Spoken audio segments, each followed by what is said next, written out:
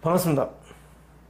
모든 낙찰자들이 행복한 1% 기부에 동참하기를 희망하는 경매 채널 김도현입니다.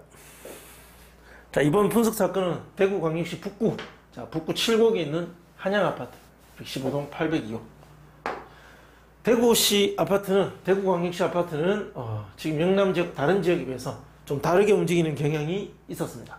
자, 그래서 제가 대구시 사건은 빼먹지 않고 한 번씩 꼭 분석을 하고 있습니다.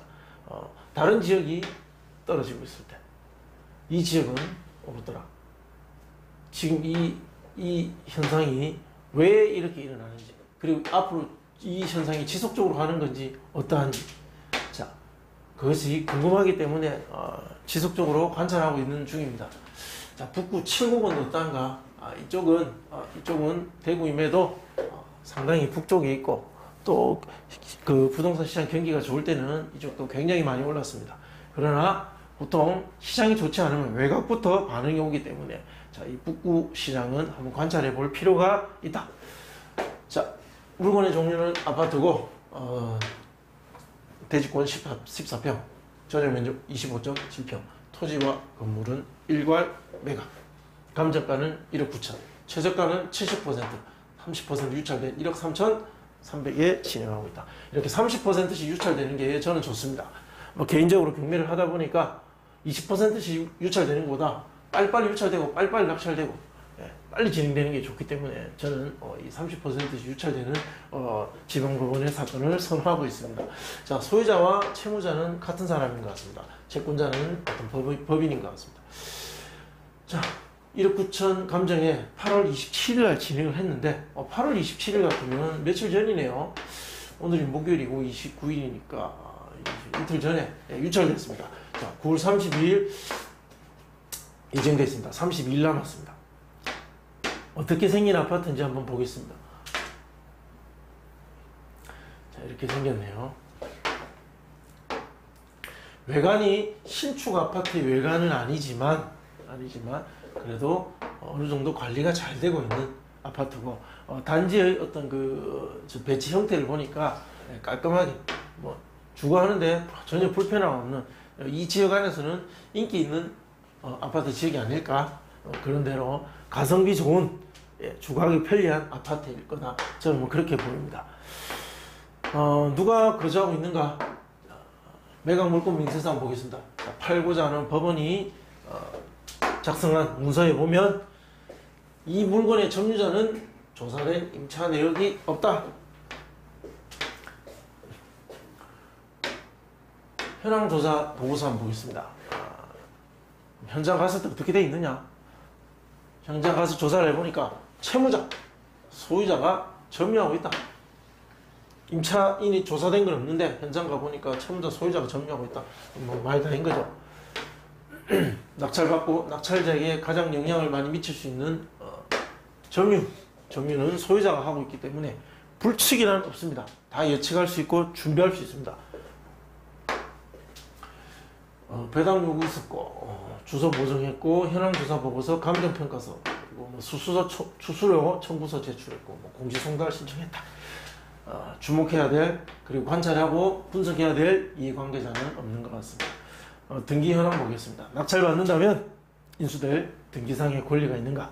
말소 기준 권리 찾아야 되죠. 가장 빠른 근저당, 뭐 저당권, 뭐 압류, 가압류 찾아보십시오. 자 이거죠. 너무 쉽습니다. 2015년 12월 22일 근저당권 설정됐습니다. 이것이 말소 기준 등기가 되고 이 등기 이후에 가압류, 가압류, 가압류 모두 말소됩니다. 깨끗하게 정리가 될 겁니다. 자료 한번 보십시오. 낙찰된다면 매수인이 인수하게 될 부담은 무엇인가? 한번 보십시오. 좀 전에 등기 현황 보셨겠지만 없습니다. 인수하게 될 등기는 없더라. 관리비 연체 가능성이 있죠. 이 누가 삽니까? 채무자, 소유자가 살고 있다. 자, 그 사람들 경제적 상태는 안 좋다. 어, 채무 상태가 굉장히 나쁠 거니까 어, 돈이 없으니까 관리비 연체 가능성 높죠. 그럼 그 사람들 내보내야 되죠. 내보낼 때 이 관리비 정산 누가 합니까? 낙찰 받으실 여러분들이 하시겠습니까? 아니죠. 하기 싫죠. 결국은 이 금액이 얼마냐에 따라서 명도 협상 테이블에서의 표정이 달라집니다. 임차인은 없다. 점자 누구냐? 임차인은 없다. 매각 물권 민서서에는 조사된 내역이 없다라고 했죠. 없다라고는 안 했습니다. 조사 조사된 내역이 없는 것이 임차인이 없는 건 아니다. 자 그런데 점유는 누가 하고 있냐? 소유자, 채무자 점유하고 있다. 명도 계획은 소유자 세대를 대상으로 인도 명령을 신청하시면 됩니다. 잔금 납부 1에서 약 3개월 정도 걸릴 것으로 예상되고 강제 집행을 한다면 약 300에서 400. 자 그러면 300만 주고 내보낼 수 있다면 협의하시는 게 최선입니다. 명도 소송 가능성은 희박합니다. 자 그러면 시장에서 호가하고 있는 매물 우리가 8층이죠. 7층인가 뭐 8층인가 음, 낮은 가격이 1억 7천이 있습니다. 9천 이런 것들은 뭐 빨리 그래야 자 5천 1억 6천 8백도 있습니다. 그러니까 7천을 기준으로 1억 7천을 기준으로 그 이하로 좀 깎일 수도 있겠다. 뭐 이렇게 보이죠? 실거래가 이렇게 형성되어 있습니다. 보시면 최근에 1억 6천까지 갔다.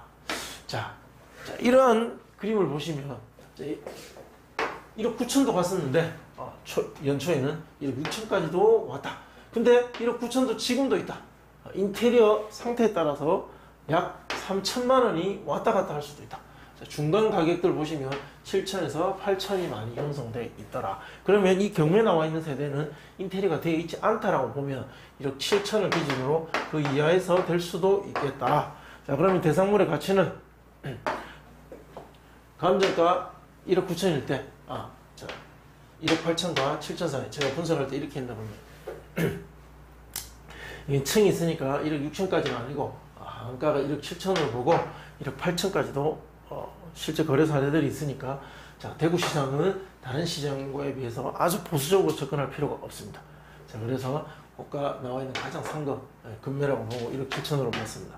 자 낙찰 사례 많이 있죠. 자그 중에 두 개 정도만 제가 뽑아서 보겠습니다. 7국 2차 한양 아파트와 한신 1차 93년도와 92년도 다 비슷한 연도에 건축되었습니다. 전용 면적 12평과 35.4평, 동양과 남양. 자, 모두 2차에 낙찰이 되더라. 그러니까 30% 유찰되면, 자, 이 정도 되면 일단은 경매로서 이익은 있다. 자, 그렇게 생각한 사람이 4명이나 있었고, 여기는 1명이다. 이 대형 평수기 때문에 어, 한 명이 들어올 수도 있는 것이고, 시장의 반응이 폭발적으로 인기가 있다? 아닙니다.